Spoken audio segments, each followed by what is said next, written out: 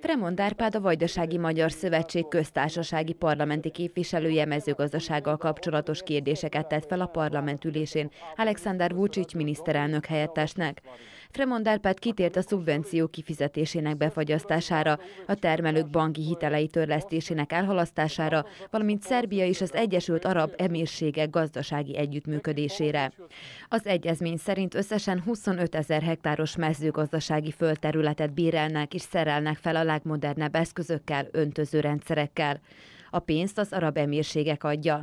Szerbia pedig éveken keresztül garantált mennyiségű terményt, kukoricát, búzát, húst, tejterméket szállít Ázsiába.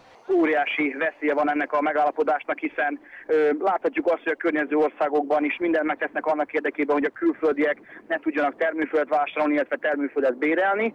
Elmondtam azt, hogy ö, pályáztatás nélkül kiadni termőföldet a, a jelenlegi termőföldről szóló törvény értelmében nem lehet, és hogy kérem ezeket tartsák tiszteletbe, illetve hogy még a vagyon visszaszármaztatás sem fejeződ be, és ezért is rendkívül károsnak tartjuk ezt a megállapodást. A miniszterelnök helyettes elmondta, a támogatások kifizetése csak 48 órát szünetelt. Az arabokkal való megegyezést előnyösnek nevezte.